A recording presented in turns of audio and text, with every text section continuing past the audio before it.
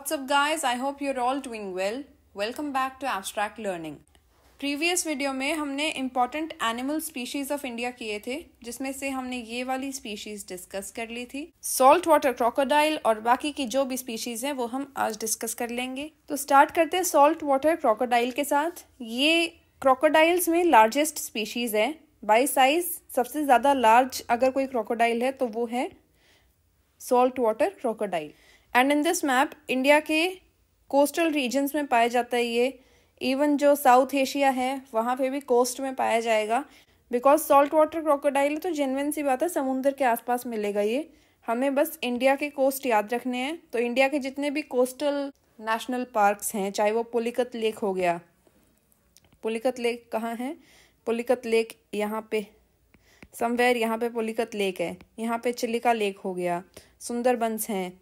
Andaman and Nicobar islands हैं et cetera et cetera तो जो भी हमारे कोस्टल नेशनल पार्क्स हैं, वहाँ पे सॉल्ट वाटर क्रोकोडाइल मिलेगा। नेक्स्ट एनिमल देखते हैं ब्लैक बक ब्लैक बक जो है, उसे इंडियन एंटीलोप भी कहते हैं।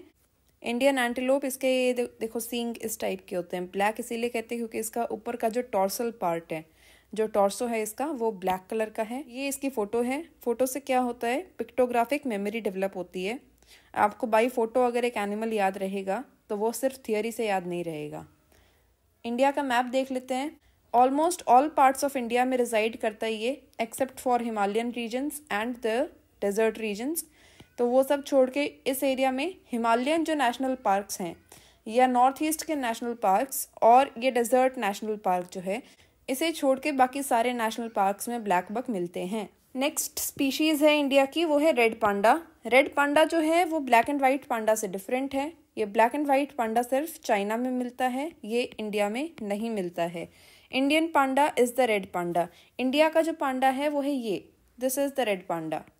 ये देख लो, ये क्यूट सा एनिमल है। This is red panda. तो रेड पांडा जो है, वो इंडिया का पांडा है, लेकिन जो ये ब्लैक एंड वाइट पांडा आपने कुंगफू पांडा मूवी में भी देखा होगा, ये इंडिया का पांडा नहीं है। कुंगफू कुंगफू से ही देख लो कि वो चाइनीज़ कंसेप्ट पे बेस्ड है तो वो जो पांडा है, वो चाइनीज़ पांडा है। The black and white panda is not Indian panda it is Chinese panda ये कहाँ कहाँ पाया जाता है? एक तो ये पाया जाएगा मानस नेशनल पार्क में और एक ये पाया जाएगा रॉयल मानस नेशनल पार्क में, जो कि भूटान में है। लोकेशन देख लेते हैं इसकी। तो आप देख सकते हो कि ये आज के दिन नेपाल में भी मिलता है, भूटान में भी मिलता है और यहाँ पे अरुणाचल प्रदेश और आसाम का जो एरिया है, वहाँ भी मिलता है। तो हम कंक्लूड सेफली कंक्लूड कर सकते हैं। कि हमारा जो कंचनजुंगा नेशनल पार्क था, वहाँ भी रेड पांडा मिलेगा, मानस में भी मिलेगा। मान लो कि ये हमारा नेपाल है, ये सिक्किम हो गया, ये भूटान है और फिर ऐसे करके अरुणाचल प्रदेश है। तो यहाँ पे कंचनजुंगा नेशनल पार्क है। यहाँ पे मानस वाइल्ड लाइफ सेंचुरी है, मानस नेशनल पार्क है। उसी का कुछ पार्ट, ये वाला जो पार्ट है, ये भूटान में है। इसका नाम भी मानस ही है, बट इसका पूरा नाम मानस रॉयल या फिर रॉयल मानस नेशनल पार्क है। तो ये जो रेड पांडा है, ये रॉयल मानस नेशनल पार्क में भी देखने को मिलेगा। मानस नेशनल पार्क में भी, काजीरंगा में भी, थोड़ा बहुत म्यांमार में एंड थोड़ा बहुत चाइना में। नेक्स्ट एनिमल है हमारा ब्लैक पैंथर। ये ब्लैक पैंथर है।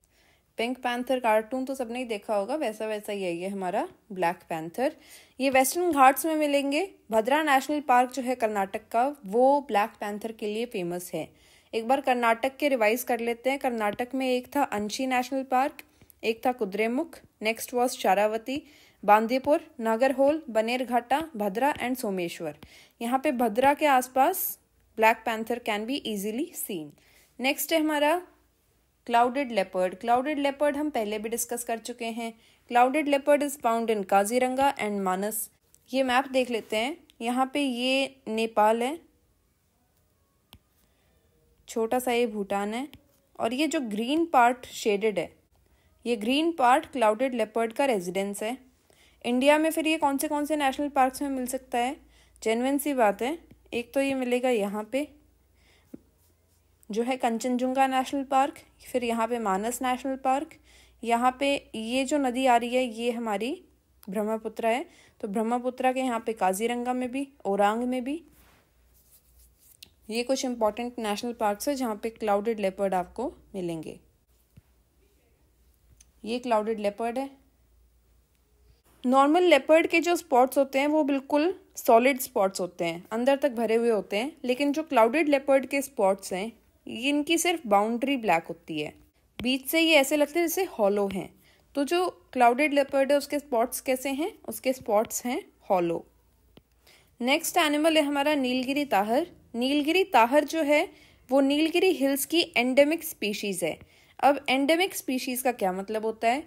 एंडेमिक स्पीशीज़ का मतलब है कि वो स्पीशीज़ दुनिया में सिर्फ़ उस पार्ट में पाई जाती है जहाँ पे वो एंडेमिक है। फॉर एग्ज़ाम्पल अगर नीलगिरी ताहर की बात करेंगे तो ये हमारा नीलगिरी रीजन है। नीलगिरी ताहर इस रीजन के अलावा दुनिया में कहीं नहीं मिलता। ये है हमारा नीलगिरी ताहर। तो एक बार केरला के भी नेशनल पार्क्स रिवाइज कर लेते हैं। Silent valley Mathikettan Pambadum Eravikulam Anamudi and Periyar. ऐसे ही यहाँ पे तमिलनाडु के डिस्कस कर लेते हैं। Mudumalai, Mukurthi Anamalai Palani hills gulf of Mannar and Guindy national park next animal है हमारा लायन टेल्ड मकाकू जो लायन टेल्ड मकाकू है, वो वेस्टर्न घाट्स की एंडेमिक स्पीशीज़ है। यानी वो वेस्टर्न घाट्स में ही पाई जाती है सिर्फ़ पूरी दुनिया में। ये सदर्न इंडिया में पाए जाते हैं और ये एंडेंजर्ड स्पीशीज़ भी है। यानी इसकी जो पॉपुलेशन है पॉपुलेशन को खतरा भी है। ये है लायन टेल्ड मकाकू का एक्चुअल लोकेशन केरला और थोड़ा बहुत कर्नाटक में पाया जाता है ये। ये हमारे वेस्टर्न घाट्स हैं। यहीं से फिर ईस्टर्न घाट्स ऐसे शुरू हो जाएँगे, ठीक है? और वेस्टर्न घाट्स के यहाँ पे लायन टेल्ड मकाकू मिलते हैं। Next animal is golden langur बहुत छोटे से रीजन में पाया जाता है ये वेस्टर्न आसाम में और इंडिया के neighbouring foothills black mountains of Bhutan में, यानी इंडिया में और भूटान में पाया जाता है ये। ये देख लो, ये इसकी लोकेशन है, कहाँ पे ये पाए जाते हैं गोल्डन लंगूर्स इंडिया और बांग्लादेश की बाउंड्री पे छोटे से एरिया में पाए जाते हैं। जो हमारा नेक्स्ट एनिमल है, वो बहुत इंटरेस्टिंग है। आपको बहुत मज़ा आएगा उसके बारे में पता करके।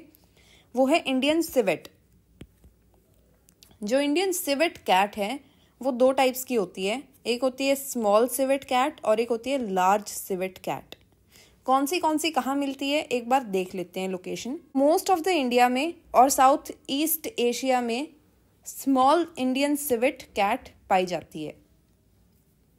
लेकिन जो लार्ज इंडियन सिविट कैट है, वो इंडिया के थोड़े से पार्ट में और बाकी साउथ ईस्ट एशिया में पाई जाती है.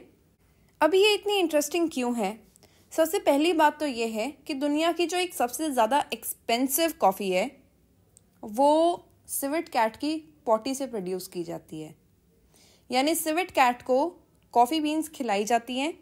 उसके इंटेस्टाइन्स में वो कॉफ़ी बीन्स आधी अधूरी फर्मेंट होती हैं, डाइजेस्ट होती हैं और उसकी जो पॉटी में से ये कॉफ़ी बीन्स निकलती हैं फिर, इन्हें एक्सट्रैक्ट करके इनका कॉफ़ी पाउडर बनाया जाता है, जो बहुत ज़्यादा एक्सपेंसिव है and it is the most expensive coffee in the world I think इसका price twenty five thousand per K G से स्टार्ट होता है।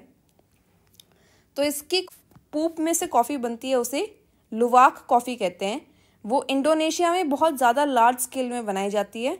तो Kopi Luwak is an Indonesian coffee that is made from partially digested coffee beans eaten and defecated by a civet India जो है Asia की third largest producer और exporter है coffee का। इसने भी वर्ल्ड की सबसे ज़्यादा एक्सपेंसिव कॉफ़ी जो सिवेट कैट की पूप से बनाई जाती है।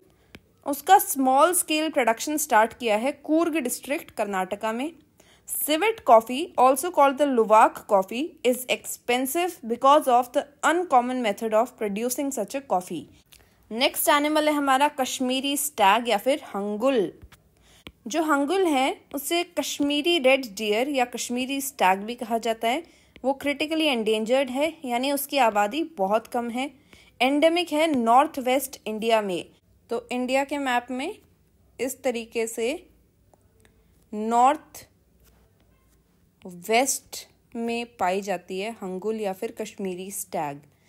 और कश्मीरी स्टैग या हंगुल के लिए सबसे फ़ेमस है दाचिगम नेशनल पार्क। इसके अलावा हमने दो नेशनल पार्क्स और किए थे, जम्मू एंड कश्मीर में एक किया था और एक किया था लद्दाख में। So guys that was all for today अगर आपको ये वीडियो पसंद आया या आपने इस वीडियो से कुछ भी नया सीखा है तो प्लीज़ इस वीडियो को लाइक कीजिए, अपने फ्रेंड्स एंड फैमिली के साथ शेयर कीजिए और चैनल को सब्सक्राइब करना मत भूलना। Press the bell icon for latest notifications मिलते हैं अगली वीडियो में, तब तक के लिए बाय बाय टेक केयर